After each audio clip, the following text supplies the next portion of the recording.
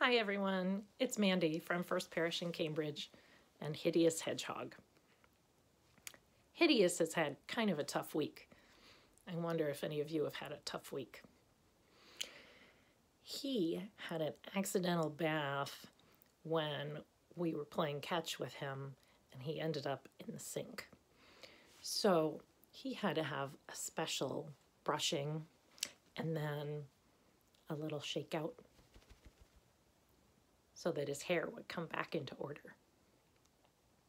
So after his tough week, I wanted to tell Hideous a story, and I hope you'll listen to. This week's story is a wisdom story called It Could Be Worse. Once upon a time, a long time ago, there was a farmer and his family. And they lived pretty far out on a dirt road, and they had lots of farm animals, and they had a kid. One day, the in laws were coming to visit. So they were getting everything ready, and the farmer really thought, I'm kind of worried about this. I think it's going to be crowded. I think it's going to be noisy. I need some advice. So he went to see the rabbi. And the rabbi heard the story that they were coming to visit and sat and thought for a minute. Hmm. What would be helpful? I know, said the rabbi. Do you have chickens? Oh, of course I have chickens. I'm a farmer, said the farmer. Ah, take the chickens and bring them in the house. And so the farmer did, not really understanding how this would help at all. Well, once his in laws and the chickens were in the house, it seemed actually worse. Things were loud with a lot of clucking, and there were feathers everywhere. So the farmer thought, I need some advice, and went back to the rabbi. And the rabbi heard this and sat for a minute and thought, hmm, what would help? I know. Do you have any goats? Well, the farmer said, I'm a farmer. Of course I have goats. And the rabbi said, Bring them in the house. Well, the farmer went away a little bit confused again, thinking, I'm not sure how this is going to help. And brought the goats inside the house. Then things were much worse.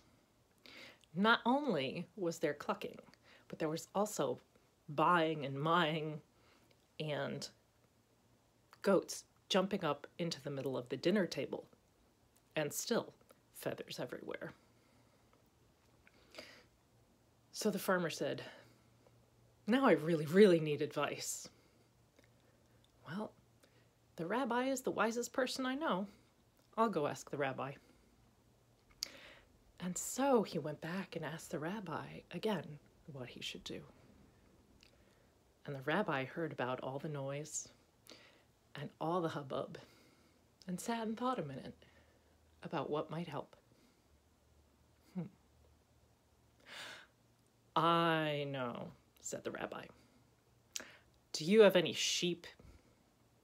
And the farmer said, I'm a farmer. Of course I have sheep. And the rabbi said, Bring your sheep inside the house. Well, at this point, the farmer really was starting to question the wisdom. But he went home and he took the sheep out of their pen and brought them in the house.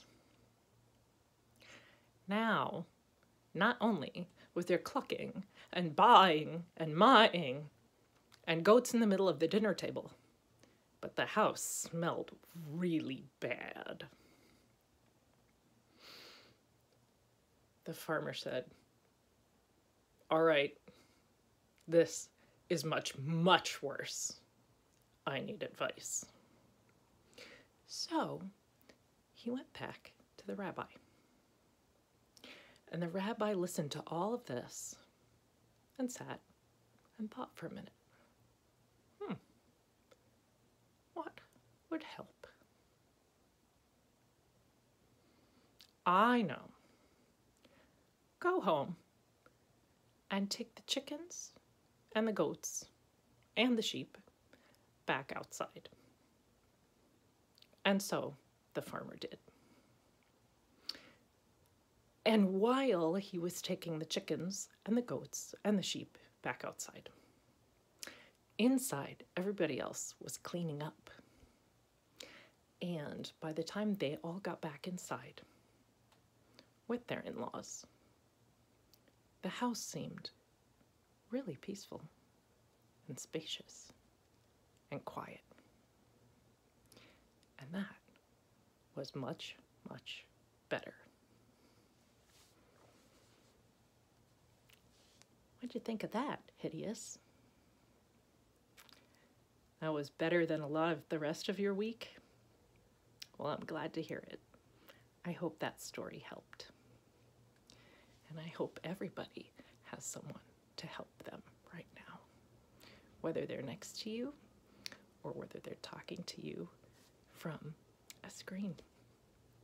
See you next week.